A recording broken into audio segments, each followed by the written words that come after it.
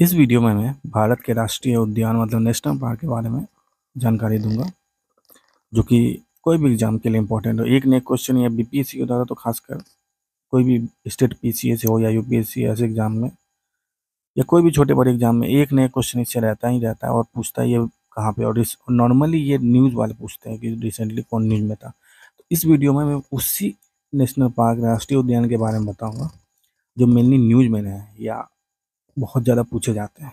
सभी national park ऐसा नहीं कि सबके बारे में बताऊँगा। कुछ को छोड़ दूँगा। मतलब ये वीडियो एकदम देखिए देखिए और ऐसे ये पूछेगा, इसमें से मतलब जो पूछेगा तो नाइनटी फाइव परसेंट चांस है नाइन्टी परसेंट चांस है मतलब पकड़ लीजिए, इसी में से पूछेगा। बाहर से नहीं पूछेगा, क्योंकि बहुत राष्ट्रीय उद्यान आप कब तक याद कीजिएगा। वो न्यूज़ कहीं पूछते कोई भी एग्ज़ाम में, और बीपीएससी जैसे ये सब स्टैंडर्ड जो होते हैं, लोग स्टैंडर्ड ऑर्गेनाइजेशन स्टैंडर्ड कमेटी ये सब वही पूछेंगे जो न्यूज़ में रहते हैं। ऐसा नहीं कुछ भी उठाए, कुछ भी पूछ दिए। तो बीपीएससी को जो टीचर भर्ती की जा रही है उनहत्तरवीं बीपीएससी या ऐसे कोई भी स्टेट बी के लिए ये काफ़ी इंपॉर्टेंट वीडियो है, राष्ट्रीय उद्यान से रिलेटेड तो चलिए देखते हैं। राष्ट्रीय उद्यान को पहले देख लेते हैं। भारत सरकार के पर्यावरण, वन एवं जलवायु परिवर्तन मंत्रालय के मुताबिक नेशनल पार्क मतलब राष्ट्रीय उद्यान, वह संरक्षित क्षेत्र होता है, जिससे संबंधित राज्य सरकार द्वारा परिस्थातिक, पारिस्थितिक पशु पक्षी वनस्पति भू आकृति जैव संरक्षा के महत्व, संरक्षण एवं प्रसार के उद्देश्य से संरक्षित किया जाता है।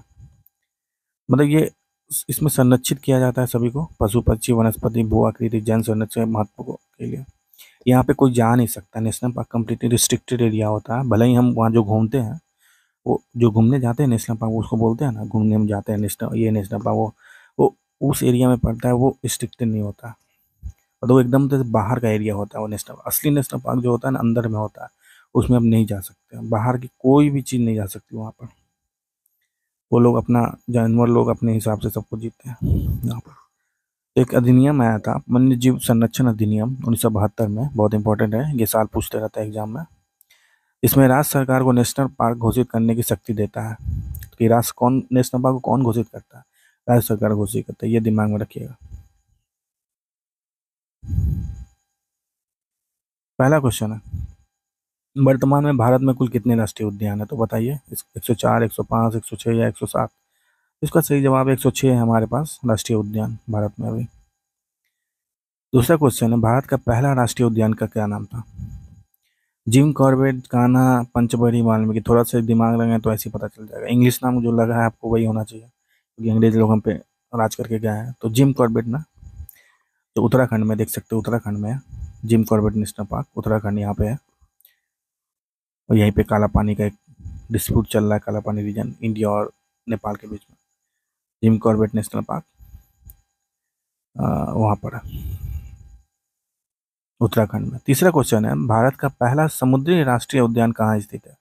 समुद्री राष्ट्रीय उद्यान, पुणे, कच्छ, भुवनेश्वर, बेंगलुरु। तो इसमें से आप ऑप्शन में से आप देखेंगे समुद्री तो समुद्र से टच होना चाहिए तो इसमें जो, जिसको थोड़ा सा जोग्राफी पता है, वो आराम से इसको बना देगा।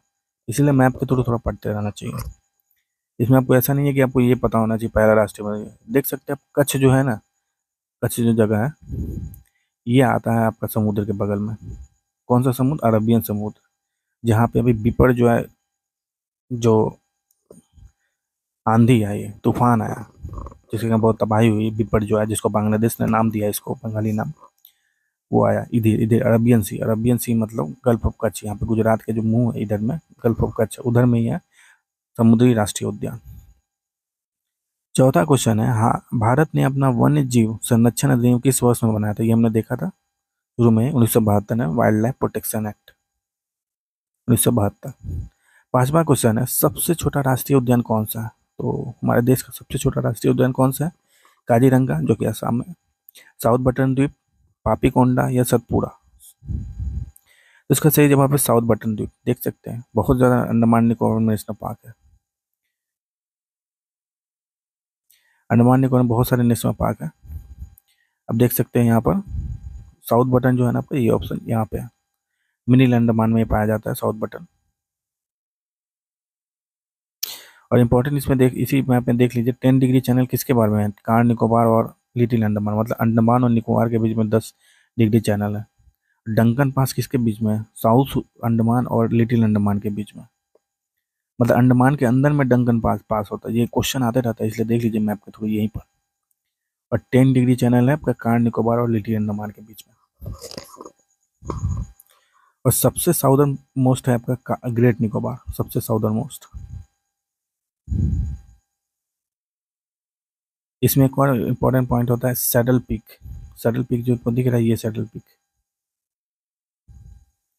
ये सैडल पिक नॉर्दर्न अंडमान में पाया जाता है। मतलब इसमें इसमें सबसे इम्पोर्टेंट पोस्ट देख सकते हैं।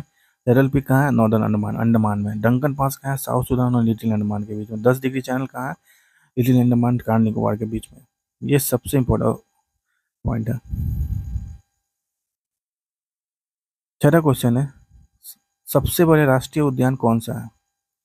भारत का सबसे बड़ा राष्ट्रीय उद्यान कौन सा है? कान्हा है सुंदरबन है, हेमिस या सतपुरा तो इसका सही जवाब है हेमिस, जो कि लद्दाख में पाया जाता है। लद्दाख में है। हेमिस नेशनल पार्क, देख सकते हैं सातवां क्वेश्चन है बप्पर सेट या एशियाटिक लैंड कहाँ पाया जाता है? कान्हा में, सुंदरवन में, गिर में या पंचमढ़ी में? तो इसका सही जवाब है आपका गिर। गिर नेशनल पार्क आपका गुजरात में पाया जाता है। गुजरात में है। अरेबियन सी के बगल में देख सकते हैं ये, गिर नेशनल पार्क। आठवां क्वेश्चन है, बक्सा। बक्सा नेशनल पार्क कहाँ स्थित है? राजस्थान में पश्चिम बंगाल त्रिपुरा, आसाम में। तो इस क्वेश्चन का सही जवाब है पश्चिम बंगाल। पश्चिम बंगाल आप देख लीजिए यहाँ पर है। और बक्सा नेशनल पार्क यहाँ पे देख लीजिए, यहाँ पे मतलब समझ लीजिए भूटान के बगल में बक्सा नेशनल पार्क ये आपका भूटान है।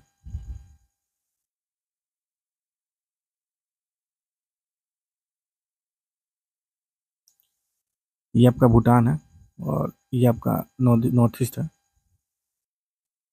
नौवा क्वेश्चन नमीमिया से आठ चीते जो मंगाए गए, वो किस राष्ट्रीय उद्यान में लाए गए? कुनो में राजाजी में, काजीरंगा में या मानस में?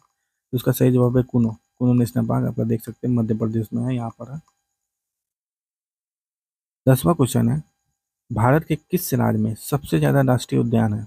हरियाणा में, पंजाब में, मध्य प्रदेश या राजस्थान में? इसका सही जवाब है मध्य प्रदेश में। टोटल दस है अभी। ग्यारहवा क्वेश्चन है, भारत का एकमात्र तैरता हुआ राष्ट्रीय उद्यान, केबुल एमजाओ नेशनल पार्क, किस राज्य में है? स्थित है मिजोरम, मणिपुर, सिक्किम या उत्तराखंड? तो इसका सही जवाब है केबुलम जाओ। आपका मणिपुर में यहाँ, नेशनल पार्क मणिपुर देख सकते हैं, जहाँ पर भी बहुत ही प्रॉब्लम हो रखा है। मैती ट्राइब यहीं पे पाए जाते हैं। तो ये थे राष्ट्रीय उद्यान से रिलेटेड इम्पोर्टेंट क्वेश्चंस ये एक्चुअली पार्ट वन है। अभी और भी आएँगे जो बहुत इंपॉर्टेंट नेशनल पार्क है। ऐसे एक और वीडियो आएगा। एक या दो और वीडियो आ सकता है।